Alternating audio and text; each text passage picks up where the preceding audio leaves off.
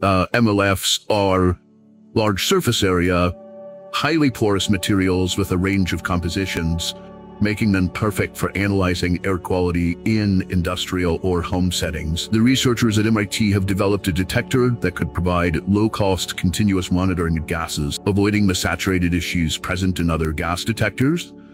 Uh, this detector pairs an extremely durable polymer material with a metal organic framework, uh, creating a sensor that possesses both uh, reversibility and high sensitivity. The polymers and powdered uh, MOF material were mixed into a liquid solution applied to a substrate and allowed to dry into a thin homogeneous layer. When gas molecules are trapped in the material, the material's electrical resistance changes, allowing for continuous monitoring through an ohmmeter. Um, the team demonstrated the material's capacity to detect nitrogen dioxide reversibly at concentration as low as two parts per million, making it incredibly sensitive compared to current detectors. The material can be deposited as a thin uniform film, making it compatible with basic handheld detectors or smoke alarm types of devices. The next step will be to evaluate the material in real-life settings, such as applying it as